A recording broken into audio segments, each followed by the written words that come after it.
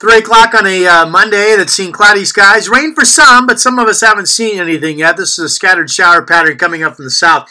Here's my new seven day for the week. Uh, there's a low system that comes in tonight, Monday overnight. Models show maybe we get a quarter of an inch of rain. So overnight tonight, the rain picks up. By the time you wake up in the morning on Tuesday and then continuing Wednesday, it is a scattered uh, rain shower pattern. There's actually another front that comes through Tuesday overnight. So Tuesday night, the rain will pick back up. Maybe that's a quarter of an inch, but the daytime hours of the next two days, really not that wet. And then Thursday, I'm not sure if the morning hours dry or not, but certainly increasing afternoon rain. And here's the washout day of the week, Friday. There's a jet stream coming in. The front is in the evening. This looks to be big fat moisture right now. Steady rain much of the day.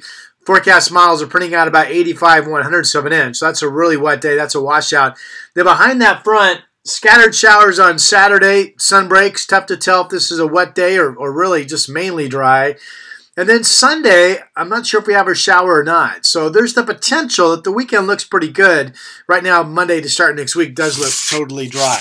No super warm days there as we are now in spring, but also no what I would call cold days. The temperature is expected to remain above freezing. We did hit 32 degrees um, Saturday I think it was Saturday morning out at the uh, airport. Uh, the temperature Sunday, I think, was a little bit warmer than that.